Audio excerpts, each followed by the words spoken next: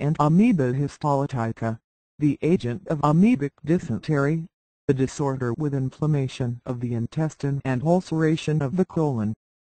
Entamoeba histolytica is a single-cell parasite that is transmitted to humans via contaminated water and food.